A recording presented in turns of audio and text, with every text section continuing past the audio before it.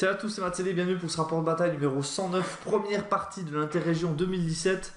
Je suis opposé à un joueur que je connais déjà, Ebus, euh, au joueur Warrior of the Dark God que j'avais déjà eu affronté une fois ou l'autre lors de tournois, donc ça fait très plaisir de le retrouver.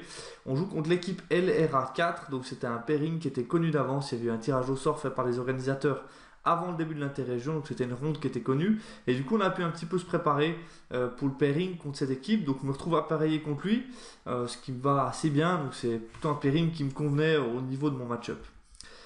Alors, la liste déjà de mon adversaire, il avait un, son général, c'était un prêtre euh, qui est monté sur chariot qui a la Hero Sword, donc les 4 attaques force 5, Chronoscorn le PAM, un Lucky Shield et une relance de d'armure, un Barbarian Chef euh, qui avait lui euh, Charm of Cursed Iron et Arnold Shield, donc de quoi lui descendre un petit peu l'armure. 39 Barbarian avec Mark of Race et Flail, donc c'est une unité qui tape pas mal le gros bloc. Les 20 barbares Mark of Lust. Euh, on retrouve ensuite 4 Westland Chariots avec différents équipements. Donc il y a deux fois les gros, les maulers et deux fois les Pair of Westit, donc les plus petits chariots. Et puis derrière, c'est beaucoup d'unités de Westland Knights. Donc il y en a 1, 2, 3, 4. C'est une liste qu'on a pas mal vu en interrégion. Euh, j'étais un peu surpris parce que je la connaissais pas avant, mais c'est vrai que c'est assez efficace. Donc on a ces 4 scoring très mobiles que sont les Westland Knights, très durs à tuer avec leur 1+. À côté de ça, les chars qui amènent tout un certain impact. Et puis lui a choisi de mettre encore euh, ben, voilà, le gros pack de barbares qui est là pour euh, encore pouvoir faire mal sur certains objectifs. Donc une grosse brique qui tape assez fort. On est sur du classique et capture the flag au niveau de l'objectif secondaire. Pour la magie, mon adversaire est sans magie. Et de mon côté, ben, j'ai le 0, le Face Judgment et le bannissement. Et un quatrième sort dont je ne me rappelle plus. J'ai pas réussi à le retrouver dans mes notes. Euh, mais qui n'a pas eu d'incidence vu que apparemment je ne l'ai pas lancé. Alors, euh, déjà, je pense quasiment impossible pour lui de me pousser parce que même en combinant des cavaleries, faire tomber autant de guerriers, c'est compliqué. Il faudrait vraiment que le pack de barbares arrive intact au close et puisse vraiment mouliner, faire tomber un indomptable rapidement, qu'un reliquaire crève, etc. Donc, il faudrait un certain concours de circonstances. Euh, pour moi, justement, cette seule vraie menace à diminuer, bah, c'est ces 40 barbares sur lesquels je vais envoyer du trébuchet pour les dégraisser un peu. Et dès qu'ils vont descendre à 25 et moins, ça va venir quand même très très compliqué pour lui de venir jouer les closes. Pégase peut faire la police sur pas mal de choses, donc ça, ça me plaît assez. En 1 contre 1, je prends beaucoup de choses dans cette liste, euh, pour pas pas dire euh, quasiment tout. Donc tout ce qui est les caves, euh, les chars, en 1 contre 1, ça fait très mal. Donc lui va devoir se garantir de la contre-charge sous peine d'être puni par le Pégase. Et puis les flags qui me permettent d'attendre et de gratter à distance. Donc situation quand même assez confort sur ce match-up-là, avec l'objectif des flags. Même si ça peut des fois être, pas être tout simple pour le Kingdom of Equity paysan d'aller chercher les flags adverses. Le déploiement de droite à gauche, alors moi j'ai mes trois blocs de paysans avec euh, un reliquaire et deux reliquaires. Donc vous voyez qu'il y en a un en bas à droite, le deuxième qui se retrouve derrière les packs. Donc c'est ce que je fais souvent hein, dès que l'adversaire n'a pas de, quoi me les tuer à distance. Ben, je joue les reliquaires hors des packs pour pas qu'ils puissent être détruits au corps à corps et perdre des bonus. Les brigands sont assez derrière les packs et j'ai deux trébuchets sur la droite. Dans la forêt, vous voyez ma cave légère et sur la gauche, vous retrouverez après mon phénix. Euh, du côté de mon adversaire, tout à droite, il y a une cavalerie scoring que j'ai choisi comme euh, flag. Il y a deux chars, euh, il y a un char pardon et une unité de 20 derrière l'infranchissable, la grosse brique de 40 barbares, euh, une série de chars dont le général qui est le char le plus à gauche sauf erreur, 5 nouveaux cavaliers, deux unités de 5 cavaliers. Si je dis pas de bêtises, j'ai pris encore les 39 barbares que je vais focus de toute façon, et puis la cavalerie qui est à côté de la colline. Voilà au niveau de mes objectifs. Euh, pour les flingues, lui a pas le choix, va prendre mes trois gros blocs. Il pose tout et il décide de commencer pour pouvoir me... Non, c'est moi qui. Oui, j'ai qu'une photo, pardon, sur le tour 1, mais en fait c'est lui qui a commencé. Donc j'ai pas, j'ai oublié de prendre quelques photos à son tour de mouvement, donc vous avez directement les deux tours de mouvement. De toute façon, il se passe pas énormément de choses. Donc sur ce tour 1, il décide de bouger pour se rapprocher de chez moi tout en faisant gaffe aux distances du Pégase. Et moi, voilà, sur mon tour 1, bah, je commence à faire l'éventail sur la droite. Euh, vu que j'ai vu qu'il rabattait sa cave derrière l'infranchissable. Donc j'ai décidé de faire un petit peu l'éventail et de ramener euh, les gens vers le, centre de la table. Ça me libère aussi un peu de place pour mes, mes angles de tir. Au niveau de ma magie, alors j'ai 9 dés contre 6 en magie, je lance un Ring of Fire dans les barbares il rate sa dissipation, tue 5. Là, c'est un tout petit peu dommage. Je me rappelle que j'ai pensé à ce moment de la partie que finalement, j'ai pas d'autres sorts qui lui font peur parce qu'on se retrouve assez loin. Et du coup, le fait de lancer que 2D fait un petit bluff. Et lui, il se dit, ouais, il va sûrement me faire encore un autre truc. Alors que si on réfléchit bien aux autres sorts, Fate Judgment, je suis trop loin. Euh, bannissement, je suis trop loin. Et puis, il me restait le Distracting et un autre sort, je pense, de boost de corps à corps, peut-être le plus de init CC. voilà, deux sorts qui ont aucune incidence directe. Donc là, clairement, ça doit être à sa place sidé, dissiper le ring. Et puis, c'est réglé. Donc bon, je lui fais déjà 5 morts dans les barbares là-dessus. C'est vraiment très très bon à prendre. Je vais passer le 0 sur le pack de droite pour me donner la tribu quand même. Au trébuchet, je fais 2 points de vie sur un char. Et le deuxième trébuchet fait aussi un hit et me fait 2 PV sur une des caves scoring. Donc ça c'est une bonne nouvelle. Celle qui est à côté, de, à côté de la colline. Donc pour l'instant j'ai décidé de plutôt essayer de viser d'autres choses que tout de suite les, euh, les barbares. La raison c'est que les barbares pour l'instant sont à longue portée. Je me suis dit tant qu'à faire autant essayer des, tirs un peu plus audacieux. Euh, peut-être diminuer certains chars, ça peut être quand même sympa. Euh, malheureusement pour moi, je fais pas énorme de PV, mais bon, c'est déjà bon à prendre 2 PV, 2 PV, le double hit de trêve, on va vraiment pas s'en plaindre, surtout à longue portée. Donc très très bon premier tour. Au niveau du tir, les brigands allument aussi, ils tuent 5 barbares, donc après ce, tour de magie et de tir, ben voilà, il reste une trentaine de barbares, un peu moins, même 29. Donc euh, vous voyez que j'ai quand même bien bien égrené ce pack, déjà avec un Ring of Fire et puis des brigands. Tour de Warrior of the Dark God sur le côté gauche, bah, il pousse à fond. Euh, voilà, il y a cette cave à la gauche qui peut entre guillemets s'insérer. Même si moi j'ai prévu de me rabattre petit à petit avec mon Pégase euh, pour empêcher ces unités-là de me pousser, en tout cas trop tôt, même si on voit que c'est pas forcément euh, quelque chose d'extrêmement gênant. Il faut que j'évite peut-être de me prendre une trop trop grosse combo charge. Mais et encore, je décide justement de plutôt ralentir ces unités-là sur la gauche. Euh, pour l'instant, je lui fais assez mal au tir, donc je vais essayer de profiter au maximum de mon tir et l'empêcher de venir au close dans une situation qui pourrait l'intéresser. Côté droite, vous voyez qu'il ressort ses cavaliers intelligemment et il les ressort pour me, forcer à devoir les prendre en considération et je peux pas rabattre complètement euh, mon unité de paysan sur la droite vers le centre de la table. Et puis, je crois que c'est tout. Ah, j'ai dû passer, excusez-moi, je pense que le sort qui me restait, ça devait être le 3, le relance pour toucher, que j'ai dû passer peut-être sur mes tireurs. Je vois qu'il y a une carte, ou non, c'est juste la tribu. Ouais, je pense que c'est juste la tribu, excusez-moi. Non, je sais pas quelle chance j'ai dû tirer, mais bref. Donc voilà pour le tour, de Warriors of the Dark God, c'est du mouvement. Tour de Kingdom of Equiten, je rabats un tout petit peu mon Pégase, euh, je recule les caves légers aussi, je me rends bien compte qu'il va falloir donner le moins de points possible, donc je vais aller les cacher tout gentiment. Euh, vous voyez que sur la droite, je réoriente un tout petit peu mon pack, pas que les cavaliers puissent passer dans mon dos, et puis le reste, je reste, euh, je recule un tout petit peu, je reste relativement vigilant. Phase de magie 3D contre 2, je mets 3D sur mon Ring of Fire et je tue 3 barbares, c'est une bonne nouvelle. Les trébuchets, je fais un hit, j'en tue 5 de plus. Et puis les brigands, je vais en tuer 8. Donc euh, voilà, ça tombe très très bien. Euh, les barbares, vraiment, ils fondent comme neige au soleil. On était à 29, donc là j'en ai tué 8, ça fait 21. Et puis 8 de moins, donc vous voyez que ça commence quand même à bien bien descendre. Il en reste plus que 13 après cette phase. Donc un pack totalement inoffensif. Euh, en deux tours, j'ai complètement annihilé ce pack. Tour 3 Warriors of the Dark God, il pousse un petit peu ce qu'il peut. Euh, voilà, moi je lui avais proposé bien sûr le char euh, sur un flanc de forêt, donc pour pas qu'il puisse me charger trop aisément, du coup il a profité de s'avancer un petit peu. Euh, on voit que les brigands restent un petit peu à essayer de me menacer. Derrière il y a un deuxième char qui suit. Donc voilà, le but c'est de gentiment amener tout le monde, mais c'est clair que les chars, le petit problème c'est que ça avance pas non plus hyper hyper vite quand ça ne charge pas. Et sur la droite il reste aussi assez en stand-by mon tour à moi, je fais pas énormément de choses, hein. je me mets en position, j'avance un tout petit peu. Pour l'instant, relativement statique, je suis très très à l'aise dans la configuration de match. Je range la cavalerie euh, derrière le pack de gauche. En phase de magie, alors j'ai 11 dés contre 6, donc très belle phase. Je lance un Ring of Fire sur un char qui va être dissipé. Euh, je lance Distracting en amélioré qui va passer. Et puis je crois que c'est à peu près tout. Euh, à noter que pardon, il avait raté une frénésie sur ses brigands et a dû euh, faire une charge euh, à 10 qu'il a raté et du coup il a avancé de 4. Voilà, comme a mentionné que les brigands, euh, les, excusez-moi, les barbares de Wrath, le gros pack, il avait raté sa frénésie, il a dû du coup charger dans le vide, vu qu'il n'a pas de BSB, c'est des fois un peu sportif, donc il a dû charger dans le vide et du coup il avait avancé de 4 pas, pardon. les 30 brigands arrosent et tuent deux petits barbares et c'est tout, donc là je fais pas grand chose. voilà, c'est tout. Euh, par contre, je crois que j'ai tiré dans les barbares sur la droite. Et là, c'est, je pense, euh, ce qui a été un petit peu le, une erreur que j'ai dû faire dans la partie, c'est qu'à un moment, j'ai commencé à changer un tout petit peu le focus de mon tir euh, pour faire en sorte de menacer plusieurs unités. Là, je crois que je mets un tour de tir avec en tout cas l'unité de droite le, pack de 20 barbares.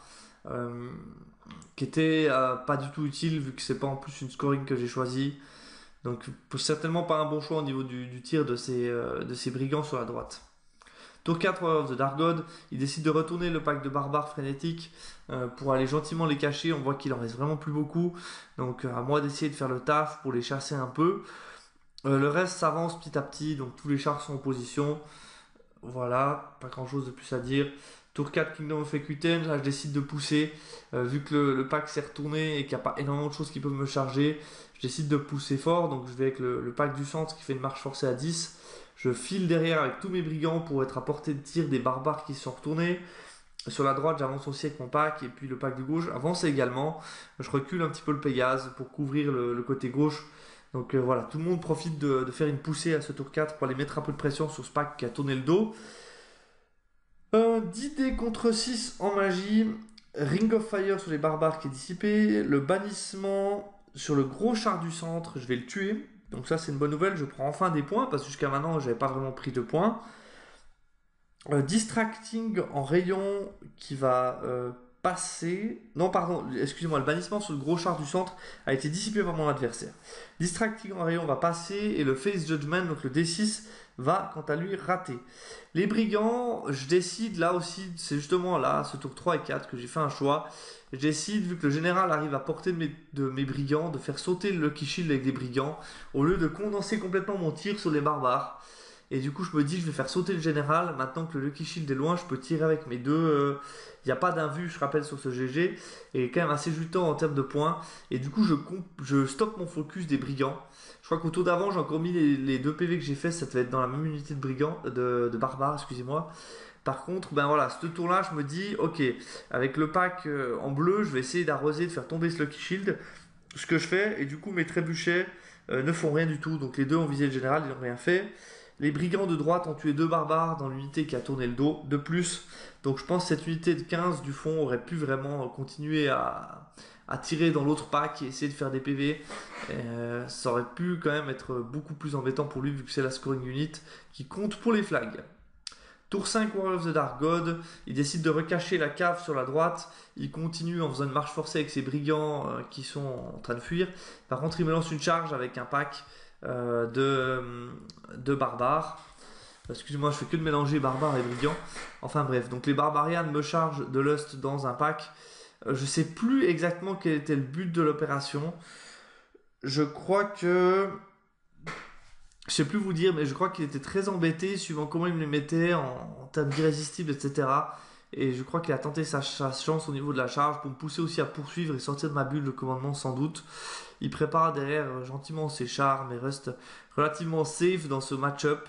Vous voyez qu'il retourne la scoring sur la gauche dans laquelle il reste trois cavaliers. Il va la cacher aussi. Donc vraiment le but pour lui c'est de cacher ces trois flags que j'ai ciblés. Alors, euh, qu'est-ce qui s'est passé au niveau du close? J'ai plus grand chose, mais en gros, voilà, le pack a fui. Euh, moi, j'ai décidé de me reformer. Je suis désolé pour la photo qui est complètement floue. J'ai décidé de me reformer. Euh, sur la droite, j'ai lancé une charge avec mon pack de droite pour essayer de faire fuir davantage le pack de barbare. Malheureusement, il a fui que de 2. Je pouvais le rattraper à 12, mais j'ai raté. Et puis le reste des mouvements, ben, je pousse très fort avec ce pack. le centre, je me dis que je vais pouvoir charger des chars. Donc ça peut être quand même une situation relativement intéressante pour moi. J'avance à fond avec mes, brigands pour pouvoir faire du tir sur l'unité qui est en train de fuir. Phase de magie 9D contre 5, Ring of Fire sur les barbares qui va être dissipé. Et il met là aussi peu de dés, il me dissipe pile poil sur les brigands, euh, les barbares qui sont tout au fond en train de fuir. Euh, pardon, pas en train de fuir, mais en train de se cacher. Bannissement sur le général qui est parmi par mon adversaire, Distracting rayon qui passe. Et euh, c'est tout. Les Je vais tuer 9 barbares dans le pack avec tous mes brigands. Je me rends compte à ce tour que je dois remettre le focus dedans. Et je vais en tuer 9 en tout. Donc il reste vraiment plus beaucoup. Euh, le treb, je fais, fais deux fois des 1 pour blesser apparemment. Ou, ou des. En tout cas, je n'ai pas touché. Je sais plus ce que j'ai visé avec mes trébuchets pour être très honnête avec vous. Il me semble que à ce moment-là, j'ai retrouvé ma lucidité. Je me suis dit, termine-moi ces, ces barbares. Ils valent beaucoup plus de points et que du coup j'ai essayé de tirer dedans avec mes deux cailloux, mais malheureusement ça n'a pas fait l'affaire. Voilà. Ouais, j'ai le côté gauche où c'est un peu plus net, excusez-moi, pour le tour 5 Kingdom of Equiten. Vous voyez que j'ai remis le Pégase dans le centre de mes lignes pour m'offrir éventuellement des charges tour 6. Euh, en évitant de me faire trop combo charge non plus, vu la, place que j'ai laissée entre les packs, il est mis un tout petit peu en retrait des deux packs, et du coup un seul char pouvait me charger au tour 6 War of the Dark God s'il le souhaitait. Tour 6 War of the, Dark God, il rallie l'unité sur la droite, euh, le char vient se mettre euh, au rack de vue, les autres reculent un peu, donc c'est très très compliqué pour moi d'aller chercher une charge dans mon tour 6. Euh, les 4 ou 5 barbares qui restent là-bas au fond décident de marche forcée pour se cacher le plus possible de la colline. J'aurai encore un tour de tir pour les finir. Ça va être quand même assez sportif. Et puis pas grand chose de plus. Donc tout circuler pour sauver le plus de points possible. on passe à mon tour 6. Alors, je décide de foncer à balle le plus à droite possible avec tout ce que je peux, mais vous voyez que le char, il a très bien joué. En mettant ce char dans cette position-là, en fait, il me donne, il me bouche l'angle de vue de pas mal de brigands qui du coup sont très embêtés pour mettre des flèches dans le pack des 5 fuyards là-bas au fond. Donc euh, très bien joué de sa part ce petit cover.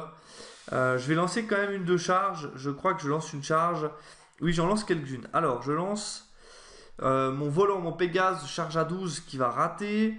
Je lance sur la droite, le pack passait pile poil. Et je tente une charge, j'avais besoin de 10 sur les dés, ça a raté. Et la dernière unité dans le centre, je tente une charge aussi, j'avais besoin de 9 sur les dés, ah, qui a raté aussi. Donc 3 longues charges. Hein. Je suis pas extrêmement surpris de les rater, mais j'aurais bien apprécié rentrer une pour pouvoir prendre euh, pas mal de points sur les derniers tours. Euh, ça m'aurait permis de gratter une tranche de plus. Malheureusement, aucune de ces charges ne passe. Trébuchet, je tente. Euh, je tente de viser, je crois, le char qui me bloque mes, mes brigands. Malheureusement, ça va rien faire du tout. Et puis, je vais réussir avec tous mes tirs de brigands euh, à tuer des barbares. Mais il va en rester un seul petit. Croyez-le ou non, il va en rester un seul. Euh, je vais revenir sur la phase de magie. Qu'est-ce qui va se passer? Mon Ring of Fire va pas passer, le bannissement sur le char va pas passer, va être dissipé. Et puis Fate Judgment, je vais rater sur le char. Donc j'ai vraiment tout essayé pour sortir le char pour avoir le plus de flèches possible. Et du coup, il me reste un seul barbare à la fin. Mais je dirais honnêtement que c'est bien fait parce que j'ai perdu ma tactique en cours de route. J'ai fait un tour à focuser autre chose avec euh, une unité de brigands et on voit que c'est le PV qui reste. Donc c'est très bien qu'il soit resté en vie parce que s'il avait été mort, je me serais dit Matt, t'as fait tout juste. Alors que clairement, j'ai pas fait tout juste. Donc c'est très bien. Je me rappeler de, de, ce petit barbare vivant et de ne pas oublier que sur les flags, faut vraiment, quand on focus quelque chose, faut vraiment égrener jusqu'au bout, quoi. Tout mettre dedans, tant que c'est pas caché, c'est pas caché. Euh, plutôt que de tenter un général qui était très osé, bah là, avec les flèches, c'est des PV directs. Et là, il m'en reste un seul qui me coûte quand même extrêmement cher sur le score de la ronde. Heureusement, sans conséquence pour mon équipe. Le résultat, bah, c'est pas compliqué, je prends la moitié des barbares et je crois que c'est tout. Le reste, tout est encore là. Donc ça fait une petite victoire de 11 à 9 grâce à ce barbare survivant derrière sa colline. Au niveau de la ronde, on passe une très bonne ronde. Hein. Je suis celui qui fait le plus petit score, donc euh, tout le monde a gagné ses matchs. Euh, j'ai aussi senti assez vite en regardant un peu dans les tables autour que j'avais pas forcément besoin de, de, plus forcer que ça, même si vous avez vu qu'à un moment donné j'ai essayé de pousser, mais le paysan malheureusement ne décide pas forcément quand est-ce qu'il pousse. Enfin, disons que quand je décide de pousser, bah, j'ai pas une énorme influence. Vous voyez que tout ce que ça m'a offert, c'est finalement des charges à 9 et 10, T6. Après, j'ai une partie extrêmement safe dans laquelle je peux jamais perdre. Je pense que le jeu de l'objet, euh, si je l'avais joué vraiment à fond en focusant tout le temps cette même unité, j'aurais pu gagner et du coup m'assurer une victoire quand même un peu plus confortable. Alors Pégase sur la police sur le côté gauche ça a bien fonctionné même si j'aurais peut-être pu aller chercher des points. N'hésitez pas à me dire dans vos commentaires si à, ma place vous auriez fait autre chose. Notamment je pense au niveau du T2 peut-être décider de s'excentrer complètement sur la gauche quitte à laisser rentrer certaines unités en me disant que je les couvre avec mes unités à moi, les gros packs. Et puis du coup être sur la gauche des, des cavaliers puis pouvoir peut-être lancer des charges T3, T4 et grappiller un peu des points avec ce Pégase plutôt que de jouer très safe. Euh, aucun moyen pour le, Warrior de créer une surprise. Je pense que c'est le bon point de ce match et que je lui ai vraiment laissé aucune ouverture. Et puis bah voilà, avoir changé ce focus du tir, euh, clairement me coûte le scénario. Du côté de mon adversaire, il sait le scénario sans tourner trop trop vite. C'est clair qu'en tournant le dos, euh, il aurait pu se dire, hein, dès qu'il en a perdu 10, une dizaine et plus, tout de suite tourner le dos du pack. Le risque aurait été que moi je peux pousser du coup dès le T3 voire T2. Donc ça devient extrêmement compliqué pour lui. S'il tourne le dos aussi trop vite, je peux commencer à pousser avec beaucoup de packs. Heureusement pour lui, la frénésie a été sans trop de conséquences, euh, malgré tout. La protection des deux caves scoring, je pense qu'il l'a bien fait. C'est comme je l'ai dit en, prélude, cette 1 plus d'armure sur les cavaleries, c'est vraiment très très dur à aller chercher. Objectif atteint pour lui en termes de score. Et puis, ben voilà, je pense qu'il aurait peut-être pu, au niveau de ses grosses unités de 40, se dire euh, j'essaie d'éviter au moins les catapultes, même si c'est pas elles qu'on fait très mal. Hein. J'ai fait, je crois, qu'un seul hit de trap dedans. Mais peut-être euh, les déployer plus larges euh, pour éviter que je puisse encore les focus. Ou se rendre compte tout de suite qu'ils allaient jamais, vu les flèches que j'avais à disposition, qu'ils j'allais jamais arriver au close et peut-être pas décider de pousser avec. Vu toutes les flèches que j'allais leur mettre dessus ça aurait pu euh, éviter de les mettre en péril parce que là, ça, ça en est quand même fallu de peu. Voilà, c'est tout pour cette première partie de l'hier. Je commence avec une petite win, mais win safe, enfin, moi, aucun moment de cette partie je peux perdre. Euh, comme je l'ai dit, erreur principale d'avoir changé le focus de mon tir alors que j'étais sur de la scoring qui valait quand même 3 tranches, plus l'autre moitié de l'unité, donc potentiellement du 14 ou du 15. Euh, voilà, c'est un peu dommage, mais comme j'ai dit, c'est en faisant ce genre d'erreur qu'on les garde aussi en mémoire et du coup, on, m'y reprendra plus. Quand je joue les flags et que je mets un focus, c'est jusqu'au bout. Merci d'avoir suivi ce premier rapport de bataille. Je vous dis à très vite pour la deuxième partie de l'interrégion 2017.